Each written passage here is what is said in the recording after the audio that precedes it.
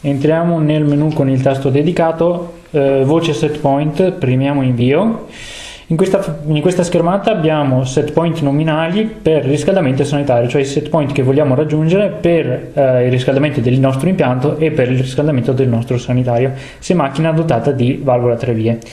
Eh, generalmente non ci sono eh, controindicazioni se non che la temperatura del sanitario non deve mai eccedere i 52-53 gradi. Allora, per la modifica semplicemente premiamo il tastino invio, con la freccia verso l'alto aumentiamo di 0,1 gradi, con la freccetta verso il basso diminuiamo di 0,1. Premendo una seconda volta invio andiamo a modificare il sanitario con la stessa eh, tipologia di eh, modifica. Premendo la tastino in giù accediamo al B02 set point energy save. Set point energy save mi permette di avere un secondo set point, generalmente energy save lo descrive la parola, è un uh, set point dove abbiamo un risparmio energetico della macchina, per cui generalmente inferiore.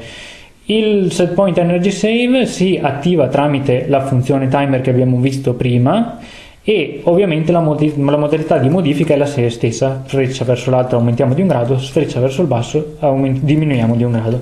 Lo stesso vale per il sanitario.